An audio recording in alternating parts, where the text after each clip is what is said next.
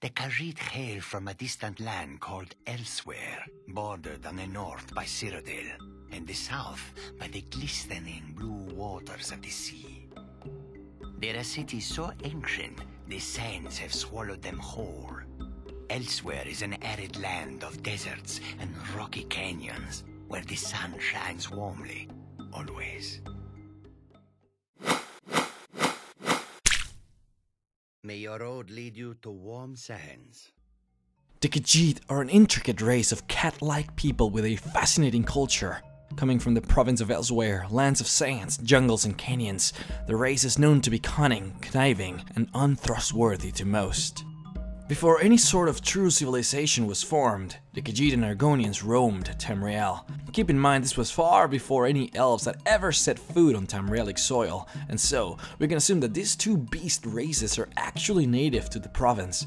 Ayleid explorers claim that when they first came in contact with the Khajiit, they were merely two and four-legged unintelligent beasts, but other reports state that they were most definitely an organized society.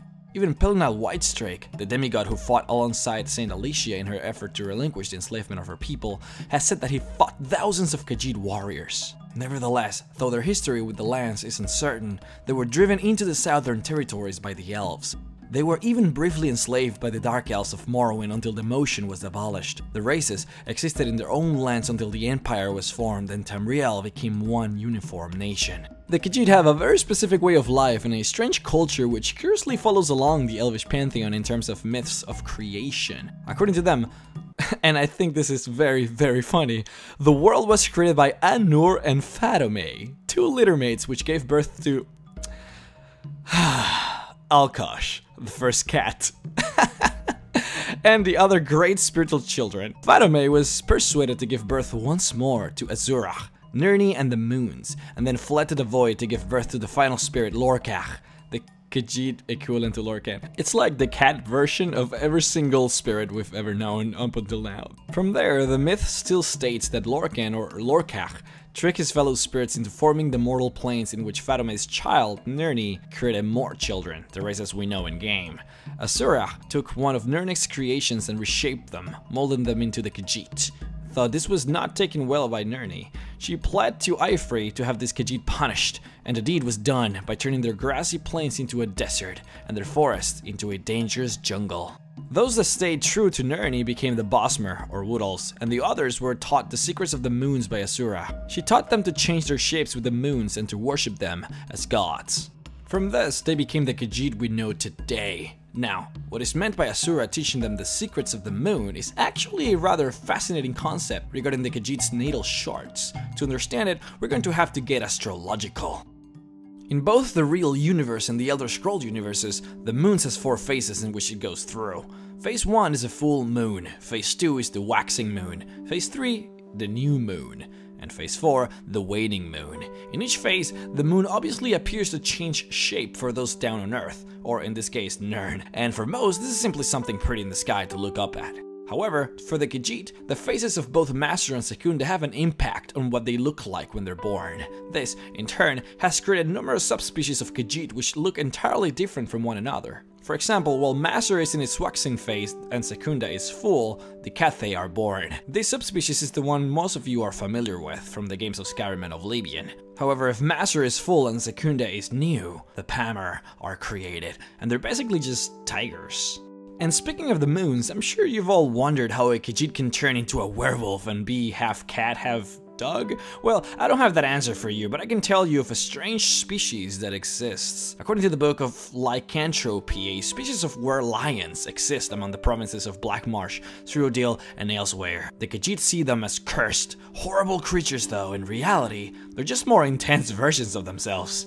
From cat people to normal people to flat out four-legged animals, the Khajiit have an incredibly diverse physical appearance all based off of when they're born in the cycle of the moons. It is said that during what is called the third moon, a very special species is born, a species known as the Mane, which rules over the Khajiit as a governing body. Apparently, the Masser of Secunda aligned with a third unknown moon, which creates this spiritual leader for the Khajiit people they call the Mane. This leader grows his mane out as long as possible and braids the other Khajiit's manes in with his own when they're giving us gifts to show respect for the ruler. The guy ends up looking like he's wearing a big furry coat by the end of his reign. He can't even move without the help of his guardsmen. Not so intimidating if you ask me. Either way, the Mane is said to be the wisest of all the Khajiit. He resides in the southern portion of Elsweyr and governs the province from his spot in the main city, Torval. Before their assimilation into Tamriel, Elsweyr was divided into two states, the deserts and badlands of Anequina to the north, and the dense jungles of Pellitine to the south. Pellitine shares much of its geographical properties with the neighboring province Valenwood, and thus the society there revolves around plantations. They grow, produce, and trade the common drug moon sugar in the seclusion of their jungle. Anequina, on the other hand, is barren and unable to grow many crops. The Khajiit that inhabit this state are broken into scarcely cooperative villages, all with the same goal keep the culture alive. Both states were technically part of the Aldmeri Dominion for many years and remained separated until 309 of the Second Era, when the two state leaders created the Elsweyr Confederacy. After the joining of the Khajiit province with Tamriel, Elsweyr seemed to remain a quiet, peaceful province. Of course, nothing ever stays peaceful. There was a period in the Fourth Era called the Void Nights, between 98th of the Fourth Era and 100 of the Fourth Era, in which Nirn's two moons, Masser and Secunda, mysteriously vanished from the sky. This inexplicable act greatly disturbed the Khajiit culture, as it depended highly on the moons for a number of things. Once the moons finally did return, the Thalmor appeared and told the Khajiit that they were responsible for bringing the moons back. Of course, the Khajiits rebelled in this newfound knowledge and believed the Thalmor to be their saviors. Eventually, the Thalmor overthrew Elsweyr's confederacy and turned the province back into the original two states to take control. The moons disappear inexplicably and reappear allegedly thanks to the Thalmor, which ends with the Khajiits joining the Aldmeri Dominion. Very fortunate, or in fact, too fortunate.